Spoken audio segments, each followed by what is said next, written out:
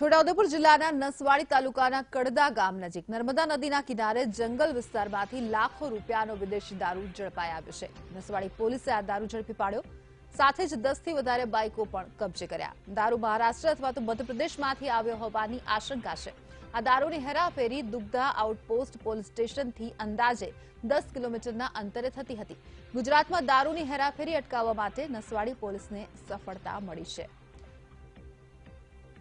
ગુજરાતમાં દારૂ ઉપર પ્રતિબંધ લગાવવામાં આવ્યો છે ત્યારે છોટાઉદેપુર જિલ્લાના નસવાડી તાલુકાના જે બોર્ડર કાંઠાનો વિસ્તાર છે, મહારાષ્ટ્ર અને ગુજરાતની જે બોર્ડર ધરાવતું ગામ કડદા ગામ છે, નસવાડી તાલુકાનું, ત્યાંથી ભારતીય બનાવટનો વિદેશી દારૂ નસવાડી તાલુકામાં ઘુસાડવાનું મોટું ષડયંત્ર ચાલી રહ્યું હતું. તેને પોલીસે વોચ ગોઠવીને બુટલેગરોને પકડવા માટેનું અભિયાન ચલાવ્યું હતું. ઘટના સ્થળ ઉપરથી અત્યારે પોલીસે મોટી માત્રામાં ભારતીય બનાવટનો વિદેશી દારૂ ઝડપી પાડ્યો છે અને નસવાડી તાલુકાની અંદર અત્યારે બુટલેગરમાં ફફડાટ વ્યાપી ગયો છે. નસવાડી તાલુકા મથકનું જે પોલીસ સ્ટેશન છે, ત્યાં આપ તસવીરમાં જે દ્રશ્ય જોઈ શકો છો.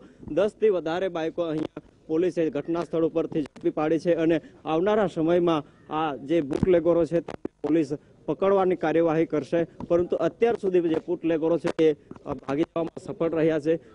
સમય બતાવશે કે આ બુટલેગરો ક્યારે ઝડપાશે તે હવે જોવું રહ્યું.